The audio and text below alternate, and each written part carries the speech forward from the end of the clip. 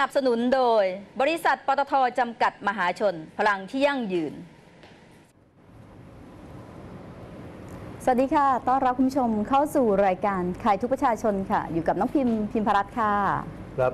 ผมโสพลเพชรสว่างครับ ค่ะอาจารย์ขวัญเพชรสว่างค่ะ ค่ะ ก็ต้อนรับเช้าวันพุธนะคะที่ 3 กันยายนค่ะอาจารย์ขวัญอาจารย์สุพลครับผมนะคะวันนี้มาสองคน วันนี้รถไม่ค่อยติดก็อีกนะช่วงคะหวันงนี้ทันนะคะ ก็โอ้แต่เมื่อวานนี้รถติดมากใช่ไหมอาจารย์ กำหนดเวลา ค่ะนะคะก็เรียกว่าวันนี้อากาศถือว่าโล่งปลอดโปร่งนะเออฝนฟ้ายังบางๆอยู่ แต่ว่าอาจจะไปตกในช่วงเย็นหรือเปล่านะคะว่าก็ต้องลุ้นกันไปนะคะอาจารย์สำหรับวันนี้เรียกว่าหน้าหนังสือพิมพ์ก็มีข่าวๆเยอะนะคะเออแม้ไปดีใจกับคนที่ถูกลอตเตอรี่หน่อยไหมคะอาจารย์บอกว่า26 ล้าน เกือบไม่ได้นะ ก็เคสนี้เห็นบอกว่าถึงเกิดไม่ได้อะค่ะ เขาขยำทิ้งคิดว่าตัวเองไม่ถูกอาจารย์อ๋อนะอาจารย์ขวานอย่างนี้ โอ้ค่ะปรากฏว่าแฟนเขาเอะใจ ค่ะ ก็ไปคลี่ออกมา อ๋อไปตรวจบนมือถือ ค่ะ อืม 26 ล้านอะ โอ้เกือบทิ้งนะ โอ้นะ วันหลังนี่ต้องกืบเตือนเสียได้แล้ว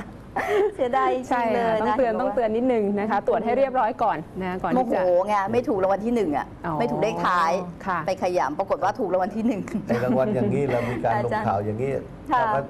ถ้าเขาทำให้ไปยั่วยุให้คนมาซื้อลอตเตอรี่ ค่ะอาจารย์ ความจริงลอตเตอรี่ก็เป็นการพนันอย่างหนึ่ง แต่เป็นเรื่องที่กฎหมายเขารองรับว่ามันไม่ผิดค่ะค่ะ อาจารย์ค่ะ เหมือนไอ้หวยใต้ดินก็มันก็เหมือนกันเนี่ยเป็นพนันแต่อันนั้นกฎหมายไม่รองรับมันก็ผิด ค่ะค่ะนะนะครับก็เขาบอกว่าลุ้นกันเดือนละครั้งสองครั้งให้หัวใจกระชุ่มกระชวยอาจารย์ แต่ว่า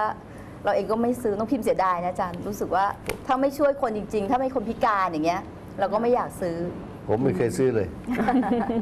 นะคะอ้าวไปดูข่าวข้อมูลกันในหน้าหนังสือพิมพ์วันนี้อ่าดีกว่านะคะอันนี้เดลินิวบอกว่าเจ้าของ Facebook ถูกแฮ็กข้อมูล เตือนระวังมิจฉาชีพหลอกโอนเงินค่ะอาจารย์อืมมาอีกแล้วนะในเรื่องของแก๊งพวก Facebook พวกหลอกเงิน ครับแล้วคราวนี้เขาบอกว่าไปแฮ็กข้อมูลนะใน Face แล้วก็ไปส่งข้อความ hack ข้อมูลคือ hack ยังไง ก็เขาจะมีวิธีค่ะอาจารย์ อันนี้เราไม่ทราบว่าวิธีการเขาอย่างแล้ไรวก็ว่ากด ไปเอาหาวิธีเข้าไปเข้าไปใช้ เวลา Facebook ของคนอื่นอะไรเงี้ยค่ะ คือจริงๆ ปกติมันจะมีมันจะต้องมี password เนอะอาจารย์ใช่ที่จะค่ะเข้าได้นะคะ ค่ะ แต่บางคนตั้งง่ายไง ใช่ตั้งง่ายเขก็จะแล้วเขามีก็ระบบในการอ่าสุ่มอะไรอย่างเงี้ยอ่านะคะสุ่ม password เขาถึงบอกว่าพวก พวกค่ะคอมพิวเตอร์พวกอะไรอย่างเงี้ยค่ะเวลาตั้ง password เนี่ยก็ต้องพยายามเปลี่ยนนะคะค่ะพยายามเปลี่ยนอ๋อเสมอเสมอค่ะนะคะบางครั้งเนี่ยนะคะขวัญเคยเจอเหตุการณ์เหมือนกันนะคะค่ะเป็นกรณีเป็นไงคะที่อาจารย์คือเราไปใช้คอมพิวเตอร์ของคนอื่นนะคะแล้วเราก็ log in เข้าไปค่ะนะอย่างอีเมลเราหรืออะไรอย่างนี้นะคะ แล้วตอนที่เราใช้งานเสร็จเรียบร้อยเนี่ยเราก็ปิดหน้าจอธรรมดา ปรากฏว่าจริงๆแล้วเนี่ยก็คือ password เรานะคะอีเมลเราเนี่ยก็คือยังยังค้างอยู่ในเครื่องอ๋อนะคะก็ทีนี้ก็มีถึงว่าปิด ออกมาเฉยๆไม่ได้ใช่ค่ะย่งนั้นปิดออกมาใช่หเฉยๆไม่ได้นะคะ ต้องออกต้องไปกดที่ออกจากระบบนะค่ะคะหรือว่าล็อกเอาท์ให้เรียบร้อยนะคะ บางแต่คนว่ารีบไงแล้วไปใช้ที่อื่นเนี่ยร้านกงร้านเกมร้านอะไรอย่างเงี้ยนะที่ใช่เขาค่ะพวกนี้นี่จะจะเป็นแหล่งอันตรายนะคะ แต่อย่างกรณีนี้น่าจะเป็นลักษณะของแฮกเกอร์นะคะพวกที่นะคะสามารถที่จะมีทำอาชีพนะอ่าเป็นอาชีพ เหมือนมีโปรแกรมนะคะเข้าไปแฮกข้อมูลก็คือไปใช้ Facebook ของเราว่าอย่างนั้นเถอะนะคะ แต่ที่กรณีสำคัญพอค่ะ วิธีการใช้เขาเนี่ยเขาเขาแบบว่า ส่งข้อความไปยังเพื่อนสนิทมิตรสหายอาจารย์ ค่ะ ขอยืมเงิน คือไม่ได้ใช้ธรรมดานะคะ ไปขอยืมเงินเขาด้วยนะคะ แล้วก็มีคนเรียกว่าโอนให้จริง ๆ ด้วยใช่ไหมอาจารย์ ค่ะ นะ อาจจะเพราะว่าเงินจำนวนไม่เยอะมาก2 3 0 0พันอืมนะแล้วก็โอนให้เอาเพื่อนเดือดร้อน ไม่โทรมานะเดี๋ยวนี้เขาค่ะยืมเงินผ่านเนี่ยเฟซบุ๊กไลน์หรือว่าอะไรอย่างเงี้ยคุยกันอืมแล้วก็มีการโอนกันให้แบบง่ายมันค่ะมีปัญหาข้อกฎหมายนะๆ ค่ะอาจารย์ คือกฎหมายเขาบอกว่าถ้าการกู้ยืมเงินตั้งแต่ 2,000 ขึ้นไปเนี่ยต้องค่ะ ลงลายมือชื่อผู้กู้ ถึงค่ะจะไปฟ้องได้ ค่ะอาจารย์ ไอ้เฟซบุ๊กนี่ไม่ใช่ ถือว่าเป็นหลักฐานได้ ได้ไหมคะ เป็นแบบว่าเป็นสมัยพยนใหม่ไงอาจารมันย์ เป็นพยานประกอบอย่างหนึ่ง แต่ผมว่าไม่ได้อ๋อไม่ได้ คือคือหมายถึงว่าเหถ้ามือนสองกับบางทีเราโอนเงินเข้าบัญชีให้เขาเนี่ยค่ะแล้วก็ไม่จะ มีลายมือชื่อ อันนี้ค่ะ ศาลเคยพิพากษาว่ามันไม่ใช่ลายมือชื่อตาม คือไม่สามารถกฎหมายจะอ้างได้ว่าเป็นการกู้ยืมเงิน ไม่ได้ ค่ะค่ะนะก็ต้องเรียกว่าเตือนกันเอาไว้ละกัน ที่สำคัญนะคะ วิธีการที่จะให้ยืมเงินอย่างที่อาจารย์บอกเนี่ยคือมากกว่า 2,000 บาทขึ้นไป นะกฎควรหมายที่จะทำหนังสือเงินกู้ข้าพเจ้าให้ถูกต้นาองยใช่โสไหมพลพุทธสว่างได้ขอได้ขอยืมเงินค่ะ น้องพิมพ์ค่ะ จำนวน 20,000 บาทค่ะ เราจะนำมาใช้ให้เมื่อนั้นเมื่อนี้ลงชื่อโสพลค่ะอาจารแค่ย์นี้ก็ใช้ได้ให้มีชื่อ เขียนกันเองก็ได้แล้วให้มีลายมือชื่อผู้กู้ไว้ ค่ะ หรือแม้กระทั่งว่ามีจดหมายมา ค่ะ เออน้องพิมพ์นะ ที่ผมยืมเงินไป 20,000 บาท ตอนนี้ผมยังไม่มีนะค่ะ รออีกสักหน่อยจะเอามาให้ลงชื่อโสมพลเพชรสว่าง จดหมายมา อืมค่ะ ไอ้นี้ก็มีสารเคยวินิจฉัยว่าเป็นหลักฐานถือว่าใช้เป็นหลักฐานเอ่อได้เป็นหลักฐานในการฟ้องมีชื่อผู้ผู้กู้ลงชื่อไว้ ค่ะนะไม่คะแจ้แต่งว่าความอย่างนั้นถ้าจะมายืมกันผ่าน Facebook แบบนี้ก็โอ้โหควรที่จะต้องไปตรวจสอบกันว่า เอ๊ะ เพื่อนยืมจริงแล้วหรือเปล่า แล้วไอ้ใช่ เพื่อนรักกันนี่แหละอย่างที่อุบลเนี่ยเคยมีค่ะ โทรศัพท์มาถามเป็นครู ค่ะอาจารย์ สงสารเพื่อน เพื่อนไปกู้ดอกเบี้ยร้อยละห้าต่อเดือน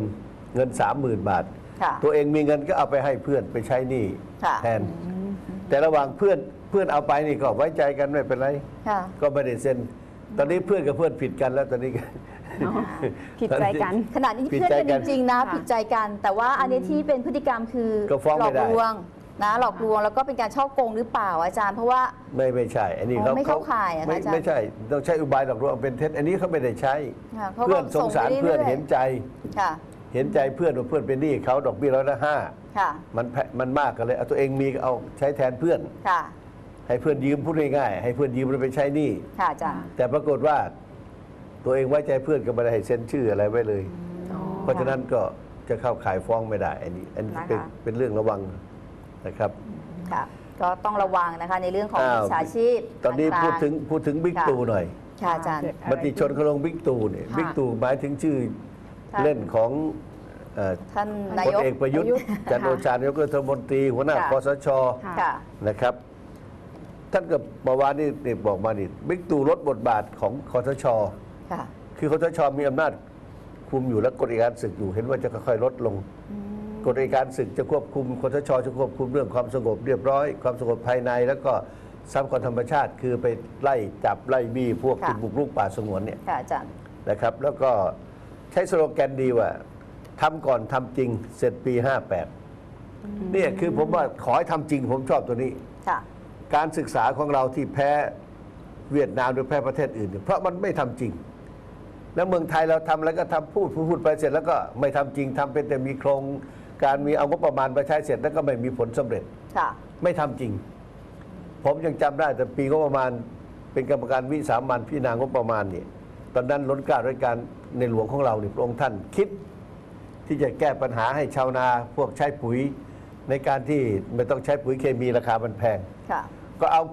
ส่งเสริมให้กรมพัฒนาที่ดินเนี่ยไปดำเนินการก็ประมาณ 400 ล้านสมัยนู้นนะฮะ 20 กว่าปีมาแล้ว ก็ใช้แนะนำวิธีว่าเอาฟาง วางไว้ชั้นหนึ่งแล้วเอาขี้วัวไปแล้วก็ฟางทับ เอาขี้วัวฟางทับแล้วก็ลาดด้วยน้ำค่ะมันก็เป็นปุ๋ยอินทรีย์ใช้ได้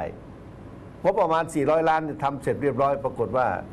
ไม่ได้ส่งเสริมอย่างจริงจังเลย มันก็หายไปเฉยค่ะๆนี่เรียกว่าทำไม่ทำจริงไงค่ะอย่างโครงการทำนี้ทำนี้แต่ถ้าพูดไปเสร็จแล้วไม่ได้ทำจริงค่ะตอนนี้สโลแกนของท่านพลเอกประยุทธ์บอกทำก่อนค่ะอย่าเพิ่งด่าอย่าเพิ่งติอย่าเพิ่งชมอย่าเพิ่งว่าแล้วจะค่ะทำจริง ค่ะ แล้วท่านวางรถแบบไว้ว่าปี 58 ตุลา58 จะมีรัฐบาลมาจากการเลือกตั้งก็หมายความว่าอาจจะปีค่ะตุลาค่ะ58 ก็ดูว่าอ่าภายในหนึ่จะงปี จะจะจริงหรือไม่จริงก็คอยคอยติดตามดู ค่ะ ทีนี้มีข่าวอันหนึ่งที่ขณะนี้ต้องขอชื่นชมทางทหารพวกเจ้าหน้าที่ของอุทยานแห่งชาติกรมทรัพยากรธรรมชาติสิ่งแวดล้อมเนี่ยเอาจริงเอาจังในการที่ไปไล่ พวกบุกรุกยึดถือป่า ค่ะ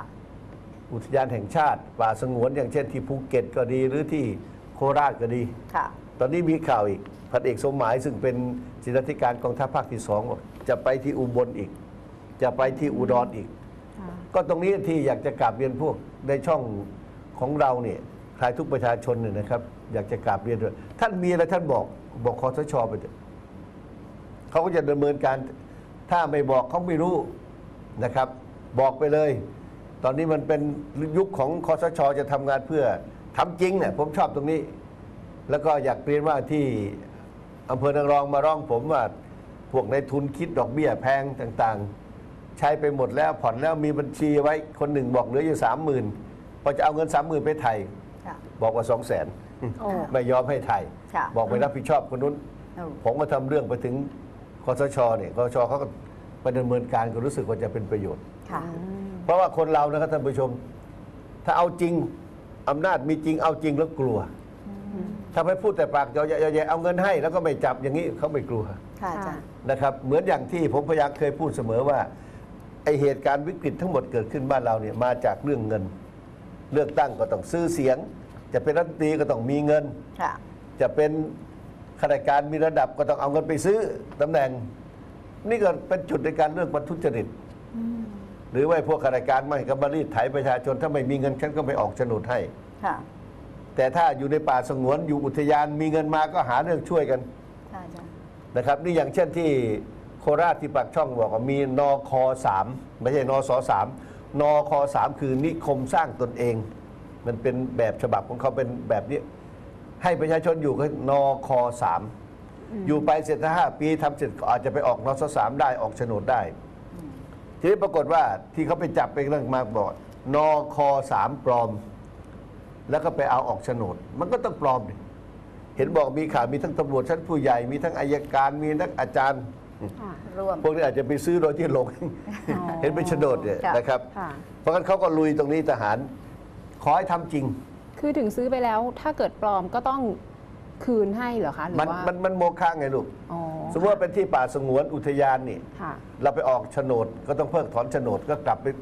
เป็นโมฆะก็กลับไปซื้อคืนสู่สภาพเดิมคำว่าโมฆะเนี่ยอ๋อมันกลับไปคืนสู่สภาพเดิมค่ะ เป็นป่าสงวนก็ต้องกลับไปสู่ป่าสงวน แล้วค่ะแล้วเงินเป็นที่อุทยาน เราเสียกำลังไปสงสัยว่าเงินที่จ่ายไป เออเสียไปก็ไปฟ้องกับคนขายนี่อ๋อต้องไปฟ้องกันอีกทีหนึ่งไอ้ใช่ไอ้ไหมนี่เป็นคะเรื่องของรัฐไม่เกี่ยวกับของนั่นไหนอืม คนไหนขายก็คือไปที่หลว่าวงกัก็นต้องไปคืนหลวงไปนะคนเอาของที่ไม่ชอบมาขายแล้วก็มีสิทธิ์ฟ้องเขาเรียกเงินค่ะนะครับค่ะอันนี้ก็ขอชื่นชม ขอให้ทำจริงนะฮะท่านพูดว่าทำก่อนทำจริงเนี่ยผมชอบคำนี้มาเมืองไทยที่มันไม่ดีขึ้นเนี่ยประชาชนไม่ได้อยู่ดีกินดีก็เพราะเรื่องทำไม่จริงงบประมาณแผ่นดินเข้าไปก็ไปโกงไปกินทุจริต มีหน่วยปราบปรามก็ทำไม่จริงสสหรืออบตที่จะทำหน้าที่ไปตรวจสอบก็ทำไม่จริง สตงก็ทำไม่จริงไม่ตรวจสอบหมด ค่ะ บางคนมีการปิดอะไรได้หลายอย่างค่ะ เนี่ยตรงนี้อยากแหม่ถ้ามีโอกาสก็จะไปบอกให้ทางคอสชทราบ ค่ะ ว่ามันอย่างนี้ช่องทางทุจริตเป็นอย่างนี้อย่างนี้นะครับ เพราะงั้นของเราผมต้องกราบเรียนท่านผู้ชมว่ารายการของเราจะเป็นสื่อกลาง ท่านได้รับความไม่เป็นธรรมไปเห็นพวก ไม่ว่าจะเป็นอดีตรัฐมนตรีสสหรือจะเป็นใครก็แล้วแต่นายกอบจนี่ อย่าไปกลัวครับจดหมายมา ไม่ต้องลงชื่อก็ได้ แต่บอกให้ชัดว่าที่บ้านนั้นตำบลนั้นหมู่นั้น อยู่อุทยานป่าไหน ป่าสงวนแห่งชาติชื่ออะไร อุทยานชื่ออะไร มีใครไปบุกรุกไปปลูกรีสอร์ทไปทำอะไร ออกโฉนดปลอมอะไรก็ว่ามาค่ะแล้วก็ตอนสุดท้ายไม่ลงชื่อก็ได้ บอกมาเดี๋ยวผมจะจัดการส่ง อย่างน้อยแล้วก็แจ้งเบาะแสให้เขาไปดู หรือไปพบเรื่องของข้าราชการจะเป็นตำรวจทหารหรือใครก็แล้วแต่ขายยาบ้าท่านอย่าไปกลัวครับ บอกมา เราจะได้ช่วยกันสังคม ถ้าเราไม่ช่วยทำไมเจ้าหน้าที่เขาจะรู้ไม่รู้หรอกครับ หรือบางทีรู้ก็ทำเป็นไม่รู้ไม่ชี้ แต่ถ้าเราทำหนังสือไปถึงเขาแล้ว เขาต้องไปตรวจสอบค่ะ นะครับ อันนี้จะเป็นประโยชน์ต่อสังคมต่อส่วนรวมต่อบ้านต่อเมืองของเรา อันนี้ก็ฝากท่านเอาไว้ นะคะ แล้วก็มีใครต้มอะไรอีกไหมมีหลอกอะไรอีกไหม เป็นการเตือนประชาชนเหรอเตือนพี่น้องทั้งหลาย นะ ถ้าจะเตือนต้องมาข่าวนี้เลยค่ะอาจารย์อืม อะเดี๋ยวข้ามมานิดนึงนะคะอาจารย์ขวัญ ลูกจ้างร้านเสริมสวยแสบ แค่ทดลองงานฉกซับเกลี้ยงโอ้ทำงานวันแรกเองอาจารย์นะต้องแหมต้องระวัง ดูวิธีการนะบางทีร้านเสริมสวยอันนี้เหตุเกิดใกล้ๆสตูเราค่ะอาจารย์แถวโชคชัย ช้างช้างสารงูเห่าข้าเก่าเมียรักไว้ใจไม่ได้อันนี้ยังไม่เป็นทาสเก่าเลยค่ะอาจารย์นะ เพราะว่าเพิ่งจะรับมาให้ทำงานวันแรกนะเออเขาบอกว่าไม่มีเอกสารต่างๆ ในการที่มาสมัครงานเลยค่ะ นะคะ ปรากฏว่าเมื่อรับมาเนี่ยก็เข้ามามาสมัครงานมาที่ร้าน แล้วคนนี้ว่าตัวเจ้าของเนี่ยคือเขาก็มีวิธีการนะหลอกวิธีการเข้าห้องน้ำใช้ห้องน้ำยังไงค่ะน่าจะเห็นอยู่แล้วแหละว่าห้องน้ำเนี่ยมันล็อกจากด้านนอกอืมนี่เป็นเรื่องที่ไว้ใจกันไม่ได้ เมื่อเจ้าของร้านเผลอเนี่ยอาจารย์ค่ะเข้าไปในห้องน้ำแป๊บเดียวอะอืมไอ้ลูกจ้างก็ไปล็อกกรอนข้างนอกแล้วก่อนข้างนอกเลยอ่าใช่ไหมคะออกไม่ได้ทำไงก็เอาข้าวของไปนะอาจารย์ขวัญเรียกว่าได้อ๋อกระเป๋ารองแชมป์ใช่ไหมอ่าค่ะยี่ห้อรองแชมป์7,000บาทไปใบหนึ่งค่ะภายในกระเป๋าก็มีเงินสดอีก20,000แหวนเพชรอีก2วง60,000ค่ะนะคะสร้อยเพชรอีกนะ30,000แล้วก็ iPhone 4S อีกเครื่องหนึ่งประมาณแสนสี่เท่านั้นเองอืมโอ้โหอั นนี่ร้านเสริมอันสนี้วยอันะนนี้เป็นลูกจ้างขโมยของในจ้างเนี่ยค่ะ มันก็โทษสูงขึ้นนะ โทษหนักขึ้น อ๋อนะจริง ๆ ในเรื่องของการไว้ไอ้ใจนี่คไอ้นนี่แหละหมายความว่าไว้ใจกันไม่ได้สองมันก็เป็นเรื่องที่ว่าค่ะลูกจ้างนี่ก็คิดสั้นค่ะใช่ไหมค่ะ มันควรจะเออเราทำดีเพื่ออาจจะเพิ่มเงินเดือนให้จจริงๆเดี๋ยวนี้คนงานมาหายากถ้าคนงานดีนะนายจ้างค่ะไว้ใจโอ้รักเหมือนลูกเหมือนหลานบางที ค่ะยกทรัพย์สินซื้อของอะไรให้อันนี้อยากรวยเร็ว นะดูสิเนี่ยการทำทำกันง่ายมากเลยอาจารย์ เดี๋ยวนี้คือวิธีวิธีการที่จะ ทีนี้มีเรื่องหนึ่งอยากจะพูดค่ะถึงเรื่องของที่เกี่ยวกับเนี่ยรวบแก๊งทค่ะวงหนี้เงินกู้ อ๋อดอกนี่เงินโคดกู้ที่ทางเจ้าหน้าที่เขาค่ะ โปรดิวเซอร์เขาเอามาให้เนี่ยค่ะอาจารย์ นะครับ อันนี้เหตุเกิดที่จังหวัดรู้สึกจะเป็นเชียงรายค่ะใช่ไหมครับอันนี้ที่เชียงรายอาจารย์อาจารย์ เป็นไงบ้างข่าววันนี้เป็นไงบ้างลูก ก็ทหารพรานนะคะ31 รวบ 3 แก๊งท วงหนี้โหดนะคะปล่อยเงินกู้ดอกเบี้ยร้อยละ 20 จากชาวบ้านนะคะหลายคนเนี่ยถ้าเกิดทวงแล้วไม่มีเงินจ่ายนะก็โดนขู่ด้วยนะคะอืมขู่การเอ่อ ขู่ที่จะถูกอุ้มนะคะหรือว่านะคะมีการเอ่อข่มขู่ต่างๆนะคะเขาบอกว่านะคะเมื่อวันที่ 1 กันยาที่ผ่านมาเนี่ยนะคะก็มีการเอ่อทหารพราน 31เนี่ยนะคะก็มีการที่จะสกัดนะคะรวบตัวนะคะแก๊งที่ปล่อยเงินกู้นะคะทั้ง 3 กลุ่มที่ที่แจ้งมาเนี่ยนะคะโดยจากการสอบสวนเนี่ยนะคะผู้ต้องหาทั้ง 3 คนเนี่ยยอมรับสารภาพ ว่าได้รับจ้างมาเก็บดอกเบี้ยร้อยละ20 จริงและทำมาแล้วกว่า 10 ปีโอ้นะคะ10 ปีเลยทีเดีเหยวตุเกิดที่ไหนเนี่ย เหตุเกิดที่เอ่อกองกำลังผาเมืองจังหวัดเชียงรายค่ะ อืมเหตุเกิดที่นะคะ เชียงรายเขาไปตามจับได้ใช่ค่ะ เขาไปตามจับได้นะคะ เอ่อพลพันอ่าชื่อเขาหน่อยพันตรี วิชัยวิชัยเนียมสวรรค์พค่ะบร้อยทอพทปคือทหารพรานค่ะ3101 3101ค่ะ จับสามคนนะมีนาย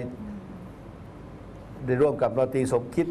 ใช่นะฮะค่ะไปจับกลุ่มนายนินายยม นิยมเมืองหม้อนะคะ นายสมชายเฉียงพิมายนะคะ แล้วก็นาย วุฒิชัยนะคะจันทวงศ์นะคะนี่สามตอนนี้คนเขากำลังจะเสนอกฎหมายให้มันหนักโทษหนักขึ้นในการค่ะ นี่อยู่อันนะครับนี้เป็น คือเดี๋ยวขณะนี้กฎหมายมีดอกเบี้ยเกินอัตราเนี่ยมันมันผิดอะเป็นค่ะโมอาฆะจารย์เฉพาะดอกเบี้ย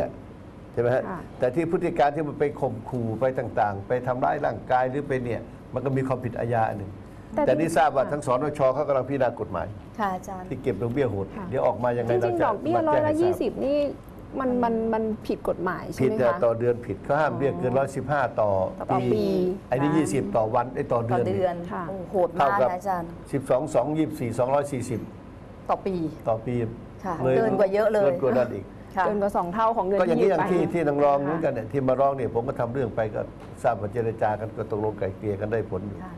นะครับ ค่ะ นี่ยังถือว่า แล้วก็มีรายหนึ่งที่นั่นมาเนี่ยพอเสร็จพูดค่ะเสร็จก็จะนึกได้ ค่ะ ที่อำเภอชำนิไอ้นั่น ก็ให้ญาติพี่น้องไปไปมอบอำนาจให้เขาไปเอาโฉนดตัวเอง ไปจดจำนองไว้ค่ะ สองแสนค่ะตั้งแต่ปีสี่สี่หนึ่งโอ้เดี๋ยวนี้ก็ไอ้เจ้าของก็แม่ก็ไม่สบายแล้วเป็นอัมพฤกษ์แล้ว ก็มาหาผม ผมก็เลยบางทียังเจอคุณสมพลเกยุราพันธ์พ่อคุณหญิงสุดารัตน์เนี่ยท่านก็ใจดีนะบางคนเขายึดไปแล้วนี่เขาก็บอกเอาโอเค มาเจรจามา มาว่ากันไปดอกเบี้ยตามกฎหมายที่ค้างหรือเท่าไหร่ก็มาเจรจามาให้ทำให้มองเห็นไอ้ว่า ไอ้ลูกก็เป็นลูกก็ลูกเป็นคนที่ลูกดีอะค่ะ ตันยูก็อยากจะได้ที่ตรงนี้ของพ่อแม่เอาไว้ก็จะหาเงินมาค่ะ เอามาไถ่ค่ะอาจารย์เขาก็บอกเอายินดีให้ไถ่บางคนยึดไปแล้ว ค่ะนี่ต้องต้องคุณสมพลนี่ก็โอเค เป็นคนที่ใช้ได้อืมจค่ะดอาารย์ จำนองไว้ถูกต้องค่ะ นะฮะดอกเบี้ยก็ไม่เกินร้อยสิบห้าต่อปี อืม อาจจะต้องนะครับมามองดูในเรื่องของเงินกู้นอกระบบกันให้เยอะเยอะอีกเนี่ยนิดผมว่าทหารนึงต้องเอาอาจารย์จริงตรงนี้หน่อยค่ะส่วนใหญ่เพราะนี่คือถึงถึงรู้นะคะ ว่าจริง ๆ มันมันผิดกฎหมายอะไรเงี้ยนะคะแต่ว่านึกถึงประชาชนนะชาวบ้านที่ไม่เขามีตังค์อะอาจารย์เเขานะเดือดร้อนนะโทคะษมันก็ยังคงมีอยู่โทษมันตะโทษมันนั่นมากค่ะโทษมันเพียงจำคุกไปเกินหนึ่งเดือนเลยเนี่ยแล้วมีวิธีการไหมที่จะมีเงินกู้ที่เรียกว่าอยู่ในระบบมากกว่าที่คือแบงก์อ่าจะให้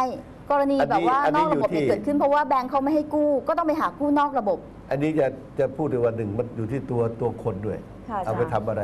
ค่ะเช่นขอโทษนะฮะนี่เป็นนโยบายที่รัฐบาลทำมาเนี่ยกองทุนหมู่บ้านเนี่ยก็หมู่บ้านละหนึ่งล้าน ก็จะให้กันกู้กันสองหมื่นสามหมื่นเนี่ยแล้วแต่โครงการ ดอกเบี้ยตกลงกันเอง ท่านผู้ชมฮะบางแห่ง 6 บาทต่อปี อืม5 บาทถูกกว่ต่อแบงค์ปี กนะคะ 10 บาทต่อปี เอาไปทำ ขอให้ทำจริงก็ได้ ค่ะตอนนั้นรัฐบาลก็ท่านทักษิณเนี่ยแหละเอ่ยชื่อท่านก็ได้ ปรากฏว่าให้ธนาคารออมสินปล่อย เช่นแม่ค้าขายของมันไม่มีโฉนดเราทั้งสามอยู่ธนาคารหมดแล้ว ค่ะ ค่ะ ก็ให้ไปกู้เท่าไหร่สองหมื่นสามหมื่นเอามาขายไก่ย่างมาขายส้มตค่ะำแล้วก็ผ่อนส่งไป ค่ะ ธนาคารเก็บตามเขาผ่อนได้ดีก็เมียไปขยายอีกร้านหนึ่งอีก ค่ะ บางคนจะซื้อรถมาทำขายไอติม กู้ค่ะสองหมื่นโดยที่ไม่มีหลักฐานไม่มีโฉนดอ๋ออันนี้ก็เป็นนโยบายอยู่ที่รัฐบาลจะทำค่ะอย่างไรค่ะนะครับ ก็คาดหวังว่ารัฐบาลชุดนี้อาจจะต้องมาช่วยดูในเรื่องตรงนี้บ้างนะคะจะมีวิธีการอย่างไรบ้างว่างนะคะ ๆโทรศัพท์มาเรียกโซพลไปให้ความรู้บ้างไปให้ข้อมูลไม่ใช่ความรู้ขอโทษความรู้ได้ท่านค่ะมีอยู่แล้ว ค่ะอะช่วงนี้เดี๋ยวเราจะพักกันสักครู่นะคะ ช่วงหน้าเราจะเริ่มเปิดสายน้ำใหม่นะคะต้อนรับคุณผู้ชมทางบ้านโทรเข้ามาพูดคุยกับอาจารย์โสพลพิศวังค่ะพักกันสักครู่ค่ะ